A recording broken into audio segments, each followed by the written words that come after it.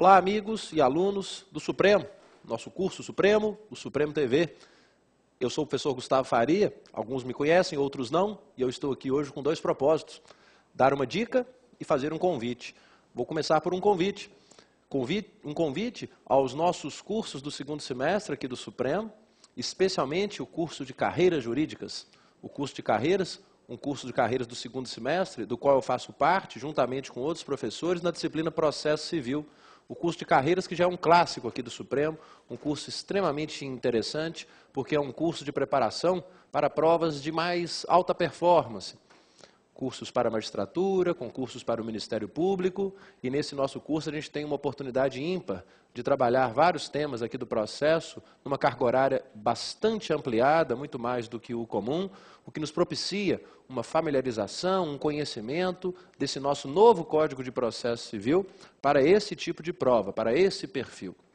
E dentro do rol das matérias do nosso Código de Processo, uma das matérias que a mim foi, que a, a mim foi dedicada é o, recurso, o tema recursos. E aí, como professor, não vai perder a oportunidade de fazer o convite, mas dar uma dica. Eu trouxe uma dica sobre recursos no novo Código de Processo, para ficar aí de, de estímulo ao seu estudo e, quem sabe, a um estudo aqui conosco na turma de carreiras. Senhores, tema certo para as próximas provas, para os próximos exames.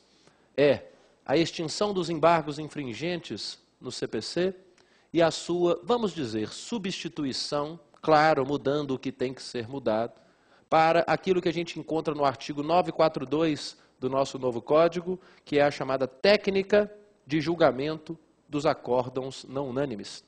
Então, vou tentar ser bem objetivo e deixar uma dica sobre um tema que, friso, repito, é tema certo para as próximas provas, como já se tem visto em alguns, em alguns dos últimos exames. Senhores, como muitos devem se lembrar, os artigos 530 a 534 do Código Revogado tratavam dos embargos infringentes. Era um recurso que tinha duas hipóteses de cabimento. Uma primeira delas era quando um acórdão não unânime reformasse em grau de apelação uma sentença definitiva, uma sentença de mérito. Em havendo um acórdão com voto vencido, reformando uma sentença de mérito em grau de apelação, nós então tínhamos a possibilidade de interpor os embargos infringentes, ocasião então em que se fazia um julgamento pela chamada Câmara Cheia, com cinco desembargadores, a fim de julgar, a fim de se decidir essa divergência que decorreu do voto vencido. Uma segunda hipótese do antigo e revogado CPC de cabimento de embargos infringentes era nas ações rescisórias. Quando nas ações rescisórias, que são originariamente julgadas pelos tribunais, nós tivéssemos também um acórdão não unânime, então, mais uma vez, existindo voto ou votos vencidos, quando esse acórdão não unânime houvesse julgado procedente a rescisória, ou o pedido da ação rescisória. Então, em sendo rescindida a decisão transitada em julgado por acórdão com voto vencido, ou por acórdão com votos vencidos, também chamado de acórdão de decisão por maioria, cabiam os embargos infringentes. O novo código, definitivamente, pode asseverar, não trata mais desse recurso. Não existe essa expressão, mas há quem diga assim: nossa, Gustavo, que bom, hein? Não precisam estudar mais um recurso. É um recurso a menos. Não, pera lá. Você não tem mais o recurso de embargos infringentes para estudar, mas você vai substituir o estudo dos embargos infringentes por algo que, infelizmente, sou obrigado a dizer, é até um pouco mais complexo, é até um pouco mais meticuloso, é um tema um pouco mais melindroso do que os embargos infringentes. E eu vou ser bem objetivo para te explicar esse artigo agora. O artigo 942 ele fala assim: Senhores, se interposta uma apelação, o acórdão proferido em virtude dela tiver voto vencido, e basta isso, acórdão não unânime que julga a apelação. O que, que vai acontecer? Não cabem mais embargos infringentes. Mas automaticamente, essa sessão terá prosseguimento numa outra data a ser designada. Pode até ser na mesma sessão, mas tem-se visto, no mais das vezes, designa-se uma outra sessão de julgamento, para a qual são convocados novos desembargadores para complementar aquele julgamento dos três primeiros, tem que ser um número suficiente para propiciar a inversão do acordo. Então, se eu tive três desembargadores votando, houve divergência, prossegue-se numa nova sessão o julgamento desse tema, convocando-se, por exemplo, mais dois desembargadores, fechando então uma Câmara com cinco, para que então se reveja essa questão e, eventualmente, se inverta o resultado daquele julgamento. É automático. Volta. Apelação, acordam. Acordam não unânime. Acordam com voto vencido. Prosseguimento da sessão. É como se fossem uns embargos infringentes automáticos. Aquela sessão de julgamento terá prosseguimento numa nova data, pode ser na mesma, repito, mas numa nova data também podendo ser designada, convocando-se mais desembargadores em, em, em número suficiente para propiciar uma inversão desse resultado. E aí existe um segundo julgamento. Esse segundo julgamento pode manter o acórdão ou reformá-lo. Não depende de pedido, não depende da interposição de recurso, isso não é um recurso. A lei chama isso de uma técnica de julgamento para acórdãos não unânimes. E o código foi mais longe.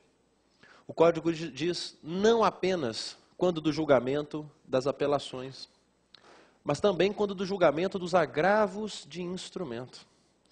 Se eu tenho um agravo de instrumento contra uma decisão interlocutória de mérito, eu tenho uma interlocutória de mérito, uma interlocutória que, por exemplo, discutiu ou declarou a prescrição de parte dos direitos do autor, Contra essa interlocutória, eu interponho um agravo de instrumento. Esse agravo de instrumento, se ele, primeiro, reformar a decisão interlocutória, e segundo, tiver voto vencido, ou seja, acórdão não unânime mais uma vez, acontece a mesma coisa. O que, que é?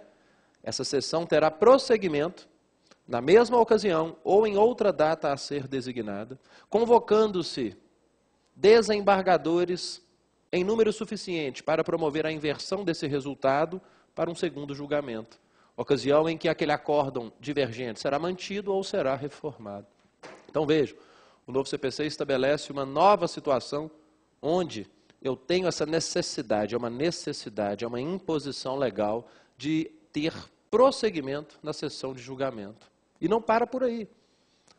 O novo código também, a exemplo do que o código passado previa para as ações rescisórias, diz que, terceira hipótese, se ao julgar uma ação rescisória, ação rescisória, o acórdão for não unânime, se mais uma vez eu tiver uma situação de votos vencidos ou voto vencido no julgamento de uma rescisória, o que, que acontece? A mesma coisa. Você já até decorou. O que, que é essa mesma coisa? A sessão ela terá prosseguimento na mesma data ou em outra data a ser designada, ocasião em que serão convocados novos desembargadores para compor aquela Câmara. Você então traz novos desembargadores em número suficiente para inverter aquele resultado. Se eu tive três desembargadores, eu trago então mais dois. Se eu tive cinco, eu trago mais dois ou mais, ou mais quatro para propiciar ali uma inversão desse resultado. E aí então você tem a nova sessão de julgamento, independentemente de pedido independentemente da interposição de qualquer recurso, independentemente dos embargos infringentes que nem existem mais. Peço extremo cuidado com esse novo artigo 942, que sinteticamente eu vou resumir por mais uma vez. Julgou a apelação, acórdão não unânime, 2 a 1, prosseguimento da sessão.